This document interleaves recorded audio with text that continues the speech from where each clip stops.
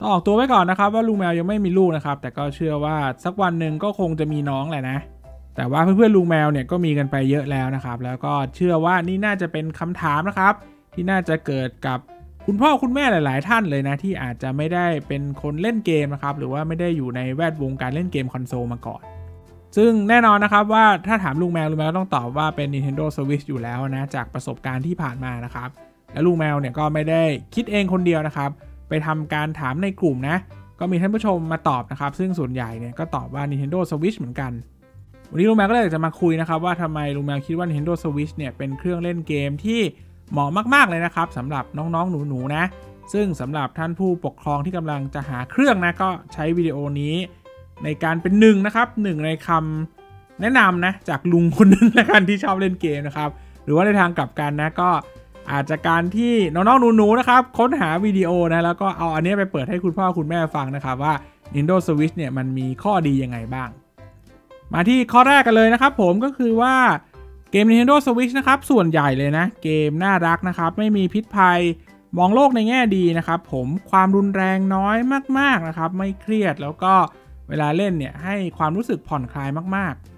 แตกต่างจากเครื่องเล่นเกมอื่นในตลาดพอสมควรนะครับ ทั้งตัว PlayStation แล้วก็ Xbox ที่ให้ภาพลักษณ์ค่อนข้างเป็นวัยรุ่นนะครับ หรือว่าวัยผู้ใหญ่นะ Nintendo Switch เนี่ยออกมาทางเป็นเครื่องสำหรับครอบครัวนะครับ แล้วก็สำหรับน้องๆหนูๆจากการที่เราจะเห็นได้เลยนะครับ การที่เขาโฆษณานะแล้วก็ในโฆษณาส่วนใหญ่ของเขานะครับ ก็จะมีน้องๆหนูๆเนี่ยมาเป็นคนเล่นเกมด้วย Nintendo พูดมาตลอดนะครับว่าหนึ่งในกลุ่ม คนเล่นเกมที่สำคัญนะครับกลุ่มลูกค้าของ Nintendo เนี่ยก็คือเด็กๆนะเพราะฉะนั้นนะครับถ้าเกิดเราทำการเปรียบเทียบกับแพลตฟอร์มอื่นนะครับผมเกมสำหรับเด็กๆเนี่ยจะมีเยอะมากเลยนะครับบนเครื่อง Nintendo แน่นอนนะครับว่าแค่สายมาริโอเนี่ยก็มาเต็มแล้วนะครับ ก็ยังมีสายโปเกมอนอีก แล้วก็มีอีกหลายสายมากมายเลยนะครับ ผมที่เป็นเกมน่ารักนะ ถ้าหาเครื่องเล่นเกมที่พิษภัยน้อยมากนะครับ ลุงแมวคิดว่า Nintendo Switch เนี่ย เป็นหนึ่งในเครื่องเล่นเกมที่เหมาะสมที่สุดแล้วนะ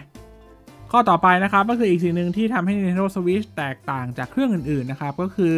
เขาเน้นเป็น Couch Co-op นะก็คือเป็นการเล่นเกมนะครับ ที่สามารถมีเครื่อง Nintendo Switch เครื่องเดียว แต่ว่าเล่นได้หลายคนได้ อย่างเช่นตัวบังคับนะครับ ตัวจอยคอนเองเนี่ย จากที่บังคับคนเดียวนะครับ ก็สามารถทำการแบ่งให้บังคับ 2 คนก็ได้ หรือว่าถ้ามีสมาชิกในครอบครัวมากกว่านั้นนะครับ ก็สามารถซื้อจอยเสริมมาได้ ดูแมวจำไม่ได้นะครับ ว่าเราสามารถต่อจอยสูงสุดรองรับผู้เล่นได้สูงสุดกี่คนนะครับ แต่คิดว่าน่าจะ 8 นะ อันนี้ไม่ชัวร์นะครับ แต่ก็เชื่อว่าเป็นจำนวนที่มากพอนะครับที่น่าจะครอบคลุมจำนวนสมาชิกของครอบครัวส่วนใหญ่ แล้วก็เกมสายปาร์ตี้เล่นด้วยกันมีเยอะมากนะครับ ก็ทำให้น้องๆหนูๆเนี่ยไม่ได้เล่นเกมคนเดียวนะ แต่เราสามารถใช้เครื่องเล่นเกมตัวนี้เป็นการพักผ่อนนะครับ ใช้เวลาร่วมกันในครอบครัวได้ด้วย ข้อต่อไปนะครับก็คือว่าเขาไม่ได้มีแค่ตัวจอยคอนกับตัวเครื่องนะครับ แล้วก็ต่อออกทีวีเท่านั้น แต่ว่าเขายังมาพร้อมกับอุปกรณ์เสริมมากมายนะครับทำให้เล่นได้หลากหลายรูปแบบนะส่วนที่เป็นเบสิกเลยนะครับ ก็คือตัวมีโบก็คือแค่กับเป็นตุ๊กตาตัวเล็กๆนะครับ เป็นของสะสม ซึ่งจะมีชิปอยู่ข้างใน ก็สามารถเอาตัวมีโบวางไปที่ตัวเครื่อง Nintendo Switch ได้นะครับ ก็จะมีของวิเศษนะ ออกมาในเกม ก็ให้น้องๆเรียนรู้ในการสะสมนะครับ เป็นงานอดิเรกนะ เก็บอะมีโบไปด้วยนะครับ หรือว่าจะเป็นนักประดิษฐ์นะครับ ก็สามารถที่จะเล่นกับ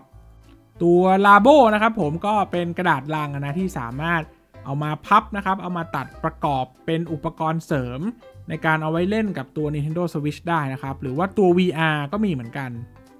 แล้วก็พวก motion control นะครับ มีให้เล่นเยอะมากเลยนะ พวงมาลัยนะครับ เบ็ดตกปลา เทนนิส โอ้ เล่นกันไม่หวาดไม่ไหวเลยนะครับทำให้การเล่นเนี่ยมันไม่ได้อยู่แค่การนั่งที่โซฟาหรือบนที่นอนแล้วก็นั่งเล่นจับจอย แต่ว่าทำให้น้องหนูๆเนี่ยสามารถได้ขยับตัวนะครับ ก็เล่นไปกับคุณพ่อคุณแม่หรือว่าท่านผู้ปกครองต่างๆ ได้ด้วย แล้วก็ยังสามารถใช้เป็นอุปกรณ์ออกกำลังกายได้ด้วยนะครับ ก็ริงฟิตนี่ก็เหงื่อโซกเลยนะ ข้อต่อไปนะครับก็คือตัวเครื่อง Nintendo Switch เนี่ย ถ้าไม่ใช่เครื่องไลน์นะครับ สามารถเล่นได้ทั้งโหมดเสียบออกทีวีนะ เพื่อเล่นกันหลายคนนะครับ หรือว่าเล่นในโหมดพกพาเล่นคนเดียวก็ได้นะครับ ข้อดีก็คือว่าไม่ต้องมาแย่งทีวีกันในครอบครัวนะครับ สมมุติว่าคุณพ่อคุณแม่จะดูทีวีใช่ไหมน้องๆเนี่ยก็สามารถใช้ตัวสวิชนะครับในการเล่นคนเดียวในห้องส่วนตัวนะ หรือว่านั่งอยู่ด้วยกันก็ยังได้นะครับ แต่ว่าข้อดีอันนึงคือว่าน้องๆเนี่ยก็สามารถพกพา Nintendo Switch นะครับ แล้วก็ไปเล่นกับเพื่อนๆนะ มันจะมีหลาย ๆ เกมนะครับ ที่เขาสามารถเชื่อมต่อกันแบบไร้สายได้ แล้วก็เล่นไปด้วยกันกับเพื่อนๆ ข้อต่อไปนะครับ ถ้าเกิดเราดูด้วยสายตาเผินๆนะเราก็จะเห็นว่าราคาเกม Nintendo Switch เนี่ยก็ค่อนข้างสูงทีเดียวนะครับพันแปดพันเถ้าเป็นราคาไทยนะ แต่ว่าจริงๆ แล้วสามารถเล่นได้นานทีเดียวเลยนะครับ ผมมันจะมีหลายเกมมากที่ซื้อเกมเดียวนะครับ เล่นได้หลายเดือนหรือว่าอาจจะเป็นปีก็ได้ เช่น Animal Crossing เช่นสายโปเกมอน ซึ่งเกมเหล่านี้นะครับจะเล่นคนเดียวก็ได้นะ จะต่อเชื่อมกับเพื่อนแบบไร้สายก็ได้ หรือว่าจะต่อผ่านระบบออนไลน์นะครับผ่านอินเทอร์เน็ตเล่นกับเพื่อนก็ยังได้ แล้วก็ถ้าซื้อแบบดิจิตอลนะครับผมก็ 1 เกมเนี่ยสามารถแชร์กันได้ 2 คนนะ หรือว่าถ้าเกิดซื้อเป็นตลับนะครับก็สามารถเอาไปขายมือ 2 ได้ก็อย่างน้อยลุงแมวคิดว่าก็ขายครึ่งราคาเนี่ยก็ยังพอได้เงินกลับมานะครับ สอนให้น้องหนูนะครับบริหารจัดการเงินด้วยนะ ข้อต่อไปนะครับก็คือขนาดของตัวสวิชเนี่ยเหมาะสมมากเลยนะครับ ในการที่เด็กๆจับถือนะโดยเฉพาะอย่างยิ่งถ้าเกิดน้อง อายุไม่มากนะครับ ผมสวิชไลท์เนี่ยลุงแมวว่ากำลังน่ารักเลยนะ ปุ่มนะครับขนาดเครื่องแล้วก็น้ำหนักเนี่ยน้องๆจับถือได้สบายเลยนะครับ แต่ว่า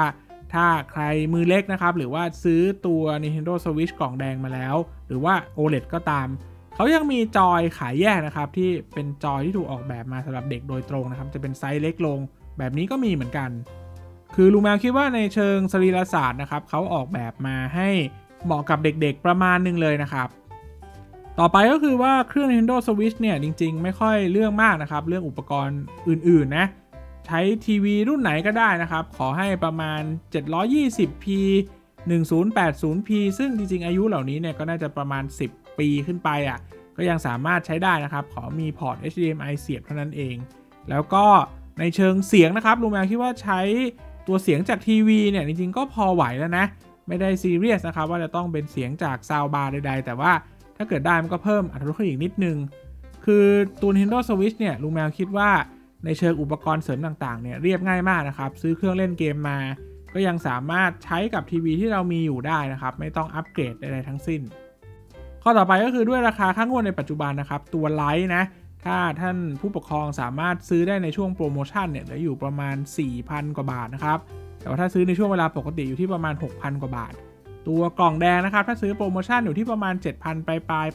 8,000 ถ้าช่วงเวลาปกติก็หมื่นนิดๆนะครับ แล้วก็ตัว OLED ตอนนี้รู้ไหมว่าราคายังสูงอยู่นะก็อย่าเพิ่งซื้อนะครับ ถ้าซื้อให้น้องๆนะหรือว่าท่านผู้ปกครองไม่ได้ซีเรียสนะครับจริงๆ OLED เนี่ยก็ให้ประสบการณ์ที่ดีเลยนะ แต่ว่าน้ำหนักก็จะหนักนิดนึงนะครับผม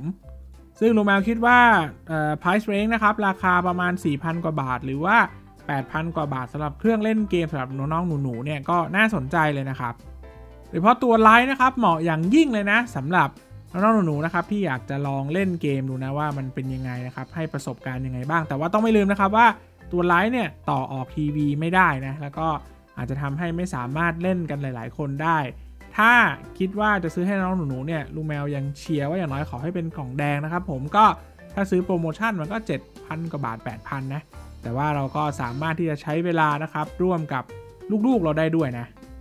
อีกข้อหนึ่งนะครับก็คือว่าตัว Nintendo Switch เนี่ยเขามีการควบคุมโดยผู้ปกครองนะครับ เพราะฉะนั้นเนี่ยท่านผู้ชมจะสามารถที่จะกำหนดเวลาในการเล่นของน้องๆหนูๆได้ ซึ่งจริงๆลุงแมวไม่ค่อยเชียร์เท่าไหร่นะก็น่าจะ คุยกับคุณลูกมากกว่านะครับ ตกลงกันนะ ว่าการเล่นเกมแบบรับผิดชอบเป็นยังไง แต่ก็บอกข้อมูลไว้สำหรับท่านผู้ปกครองนะครับ ที่อาจจะอยากใช้ฟีเจอร์ตัวนี้นะเขามีการควบคุมโดยผู้ปกครองด้วยนะครับผม เพราะนั้นนะครับถ้าเกิดเรามาดูกันนะ เราก็จะเห็นว่าตัว Nintendo Switch เนี่ยเป็นเครื่องมือนะครับในการเรียนรู้ที่ดีเลยนะสำหรับน้องๆหนูๆนะครับมันช่วยเปิดโลกจินตนาการน่ารักนะครับผมได้ฝึกความคิดสร้างสรรค์นะ ได้ฝึกภาษาได้ฝึกความคิดเชิงกลยุทธ์นะครับ แล้วก็พาน้องหนูเนี่ยไปในโลกที่ไม่เคยเห็นนะโลกจินตนาการ ราคาก็ดีนะครับผมแล้วก็ทำให้น้องหนูเนี่ยได้ขยับตัวด้วยนะ สามารถเล่นได้หลากหลายรูปแบบ แล้วก็ยังมีฟีเจอร์นะครับสำหรับการควบคุมของท่านผู้ปกครองด้วย ถ้าจะซื้อเป็นของขวัญนนะครับ หรือว่าหาของเล่นให้กับคุณน้องหนูนะลุงแมวก็เชียร์ว่าถ้ามองเครื่องเล่นเกมเนี่ย Nintendo Switch เนี่ย น่าจะเป็นตัวเลือกที่น่าพิจารณาทีเดียวครับ ท่านผู้ชมฟังแล้วคิดเห็นยังไงบ้างครับผมใครที่ซื้อเครื่อง Nintendo Switch ให้ลูกๆหลานๆเล่นบ้างนะ ก็แบ่งปันความเห็นกันมาได้นะครับ ว่าน้องหนูเนี่ยชอบหรือเปล่าหรือว่ามีประสบการณ์ยังไงกันบ้าง ลุงแมวคอแห้งแล้วครับผมเสียงหาย ขออนุญาตไปเล่นโปเกมอนต่อกันนะ รักทุกคนนะครับ ขอให้มีสุขภาพแข็งแรงนะครับ มีความสุขมากๆ สวัสดีครับ